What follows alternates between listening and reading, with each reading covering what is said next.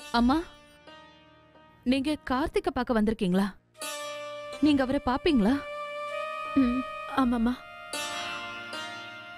இத்தனை வருஷம் மாப்பிள்ளைய இந்த நிலைமையில பாக்குறதுக்கான தைரியம் எனக்கு இல்லாம போச்சு. ஆனா இப்ப நீ எனக்கு தைரியம் கொடுத்துருக்கல அந்த தைரியம் உடையாம நான் பாத்துக்குவேன்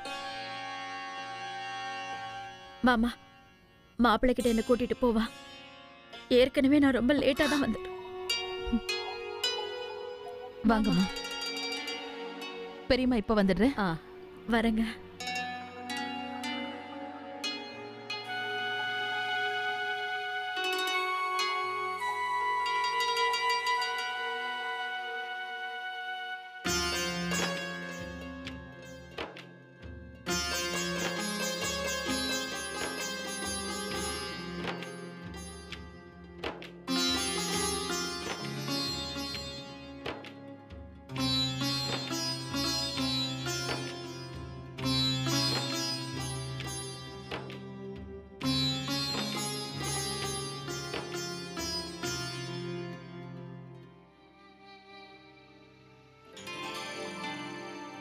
ஏதாவது பேசுங்கம்மா.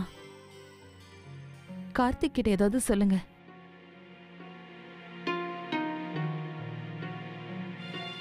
ம் ஆமாம்மா. கார்த்திக்கு எல்லாமே புரியும். ஒரு வாட்டி நீங்க ஏதாவது சொல்லிதான் பாருங்களேன்.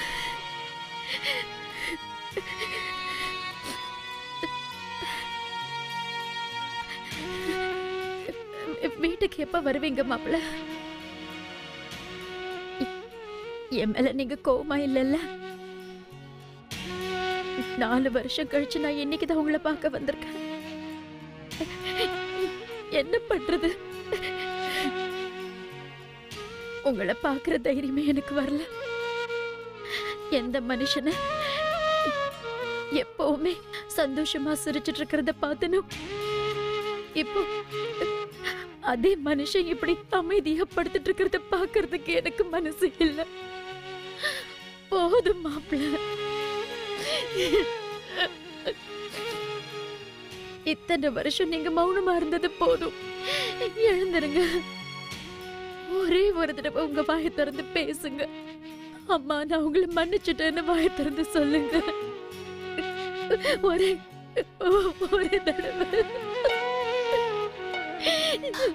அம்மா.